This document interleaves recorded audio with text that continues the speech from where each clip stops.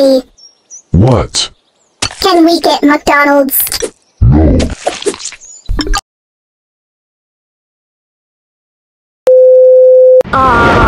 No. Where am I? What the frickedly fakedly happened to my voice too?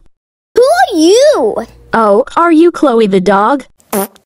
Yep, that's the one. And I've almost been down here for two hours. I don't even know how I. Where even is this place? I have no idea what that button is, but I hope it's nothing bad. What the? Mm.